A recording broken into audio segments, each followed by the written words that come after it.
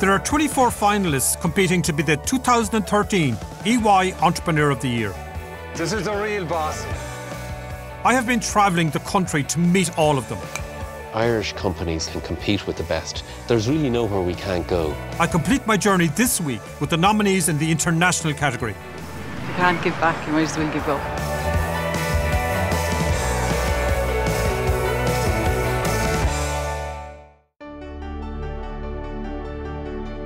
Well, we in EY set up the Entrepreneur of the Year programme to acclaim these phenomenal business leaders, to build a community of entrepreneurs where they could actually collaborate together, share ideas, and grow their businesses and compete globally.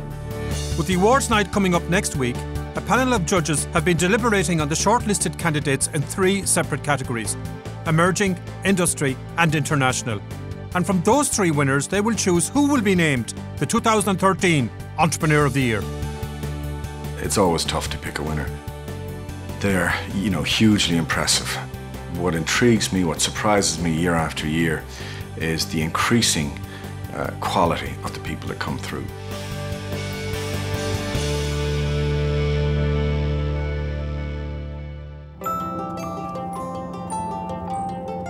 I am Pádraig Ó Céidigh, and as chair of the judging panel, I'm travelling all over the island to meet with this year's finalists. This week, we feature eight entrepreneurs competing in the international category. First stop on my journey is Adare in County Limerick.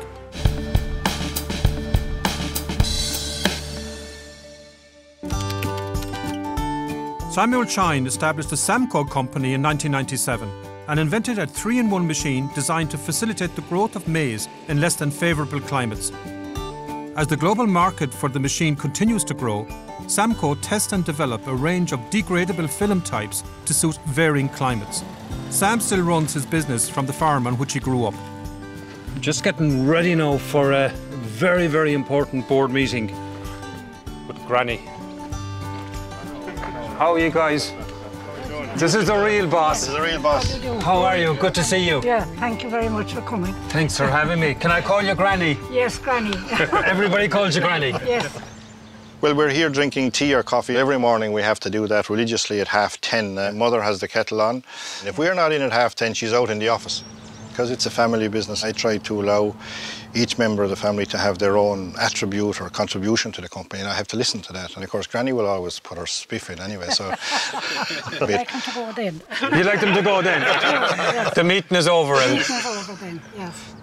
tell me a little bit about exactly what you do here.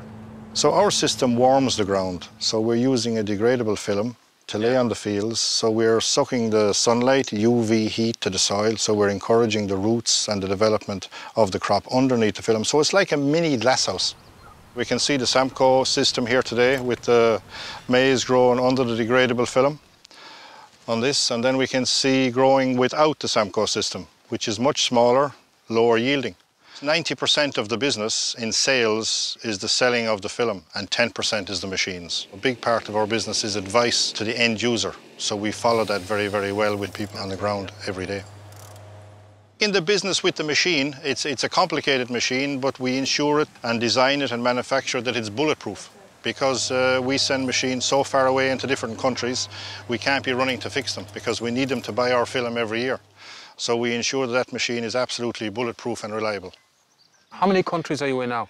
We're in so many countries, it's hard to keep track. Of course, we're producing this film in a very faraway place in China. But uh, from next year on, we want to start producing here in, in, in Limerick. And what's it like? What's it like for all the family working in the one business? Like, I, I I'd say you never, guys. I'd say, I'd say you never have a row or anything like that.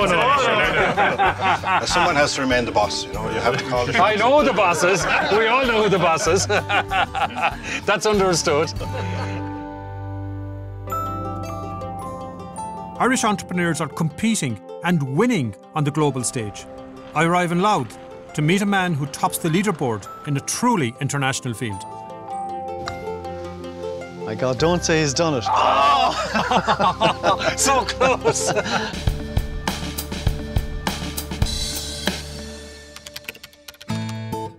When Patrick Joy founded SureTank in 1995, the company made just one type of liquid tank for use on oil rigs.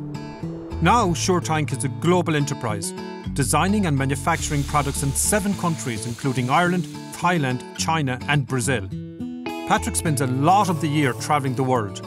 So when at home, he likes to relax on his putting green in the back garden. Great effort. Patrick, where did the idea of the putting green come from? Well, I'm an inveterate golfer, and I keep talking to my kids about the odd birdie that I have on a Sunday morning. So I went away on a business trip, and I came back 60th birthday, and they had set down the putting green for me. So I have to get more practice on it, I think, now. It's a good effort. That's it. That's it. Well done. You do a lot of travelling, Patrick. I do, yeah. To all those places where they drill for oil, for offshore oil, West Africa, Brazil, Gulf of Mexico, Newfoundland up in Canada, and uh, now Southeast Asia and Australia. If you're operating an oil rig, you've got to bring an awful lot of tools and equipment out to the platform, and you've also got to bring a lot of liquids, production chemicals. So the tanks are used for that, and the containers and the baskets are used for all the tools and then the skips are used for bringing all the waste products back. This equipment really works in very severe environments. So we certify the equipment to minus 40 degrees C, but it also has to be able to operate at plus 40 degrees C. And we have to be absolutely sure that there's never going to be an accident, that a weld isn't going to fail, or there isn't going to be a pollution incident. So in essence, the oil drilling companies yeah. would not be able to operate without, without your tanks? No, without our equipment. No, they wouldn't. Not in a safe way. Not in a safe way. How many have you employed now? Just over 600 group wise, and in Ireland we have about 135 at the last count. Oh, very close. We're not the cheapest by any means in any of the product lines that we do, but I'd say we have a better name and a higher profile than anybody else who is trying to get into the business. And that's been really key for us. And the other thing is we create a product and a brand name, and that's a very important thing. So the people are not just buying a tank anymore, they're buying a sure tank. Just left of that blade of grass. Look at it!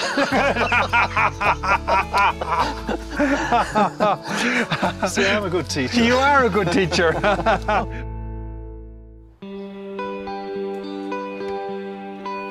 Next stop on my entrepreneurial odyssey is the small town of Callan in County Kilkenny. Well, we're here to meet a man whose business is definitely bringing home the bacon.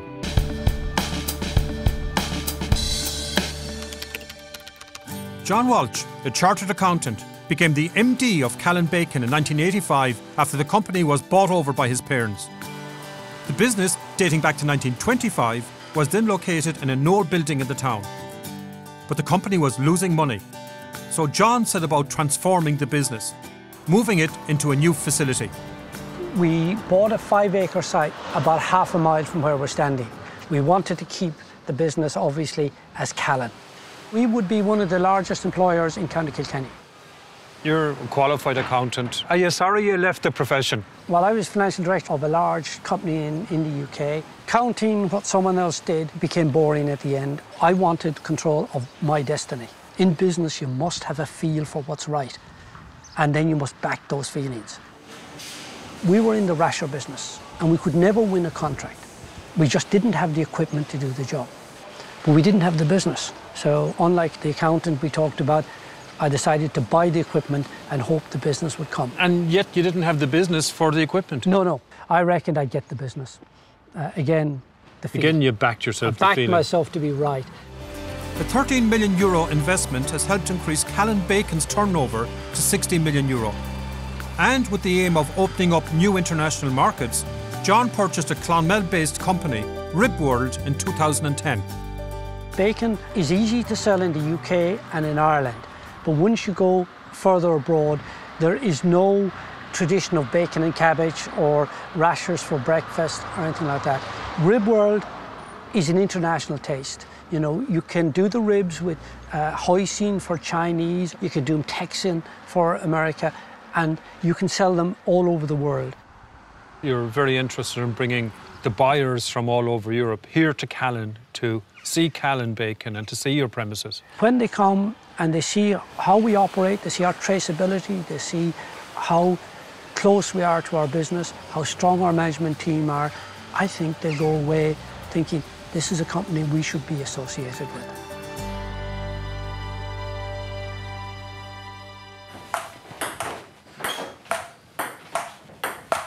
Oh, looks like I need a lot of practice before I meet the next entrepreneurs.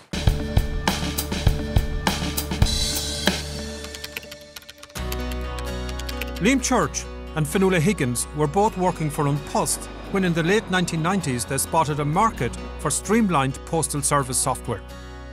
Their company, the Escher Group, employs 200 people and their products are now used worldwide. Liam and Fionnuala are married with three grown up children, with table tennis a regular pastime for the whole family. Well done. This was going to be a friendly game. When it comes to sport, you have to win. And even against your son. Yeah, he's old enough now to know. She's very competitive.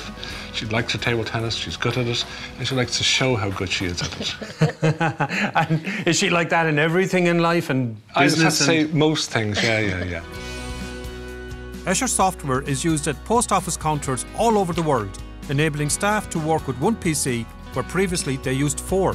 The one customer can send a parcel, buy a retail item, and pay their bill all in one transaction in the counter with our software. What you see from the outside when you buy a stamp is not what the post office is. It's a much bigger business. It's the biggest retailer in every single country. Escher's latest technology has been designed for use with mobile phones. In participating outlets, it allows customers to pay for products and to build up loyalty points. But postal service software remains at the core of Escher's business, and they have 35 clients worldwide. The biggest one is the United States Postal Service. Um, they're the largest retailer in the world, and they use our software. That's worth $50 million. Tell me how you got that. We won that in the face of, you know, seven of the top companies in the world. Our reply to the tender was 10,000 pages, and we delivered. How do you balance all of that with family needs and, and all of the other requirements you have in life? The big thing about it is we're very good about being at home at weekends. Not talking about work at weekends. We wouldn't survive if we didn't do that. Are they always this tough to beat?